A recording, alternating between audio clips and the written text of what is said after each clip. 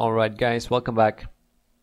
So in Node.js, we have objects that can be used directly in our application and those objects are called global objects.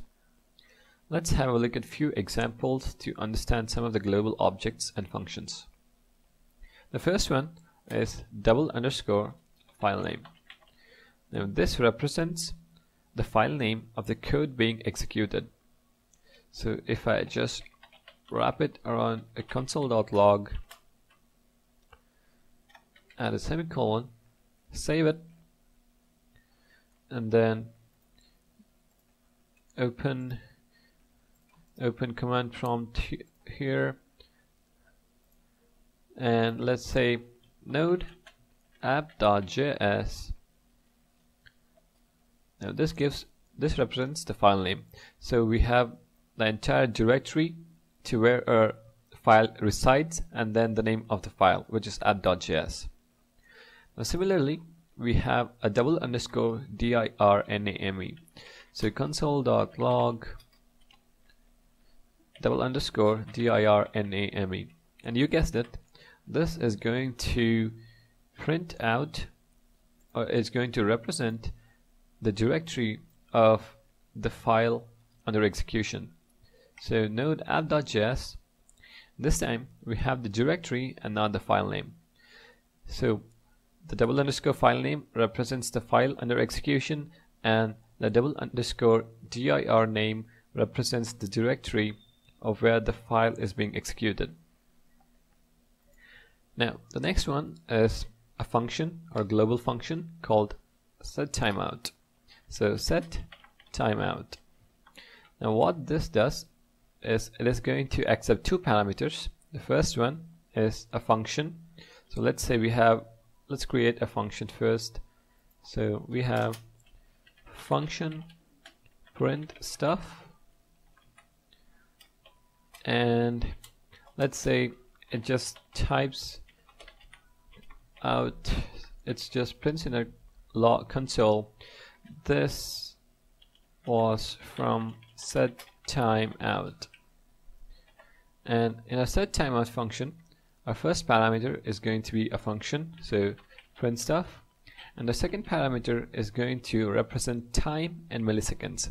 So if I say 5000, it means 5000 milliseconds or 5 seconds. And set timeout is going to call this function print stuff after 5 seconds. So if we save this, open a command prompt and say node app.js 1, 2, 3, 4, 5. So this was from set timeout. So our set timeout is going to call print stuff function which is going to print this was from set timeout and it is going to be called after 5 seconds. Pretty cool right?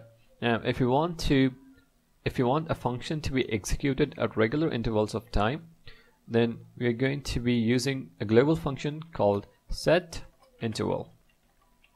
Once again, this takes a function, so print stuff, and then takes time in milliseconds. So let's say 2000. Now, if we save it, go back to our Alright, let, us just remove this so that we don't get confused. And this was from set interval.